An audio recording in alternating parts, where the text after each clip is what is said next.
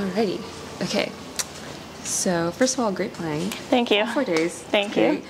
You're halfway through week one completed, Mm-hmm. and you excelled to say the least.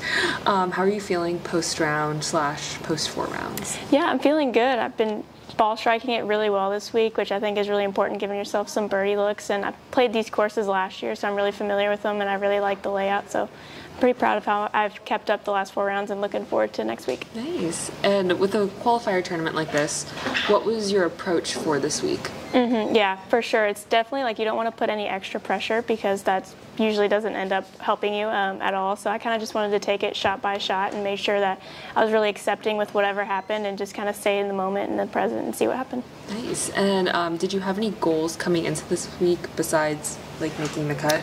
Yeah, I think, you know, obviously like making the cut and getting your card are the long term goals, but those kind of aren't in my control. But I can control my attitude and kind of how I approach each shot. So I just want to make sure that I stayed in the moment and was on target and on on uh, on the present time.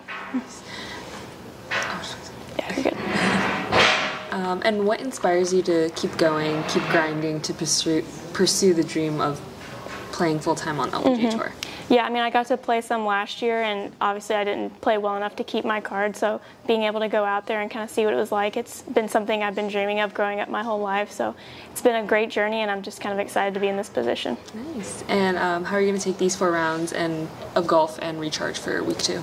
Yeah, I'm going to keep the same game plan I had this week. You know, keep working on my ball striking and get some of those putts to fall, and kind of see what happens. Awesome. Well, great playing, Thank you. and good luck this next week. Yeah, thank you.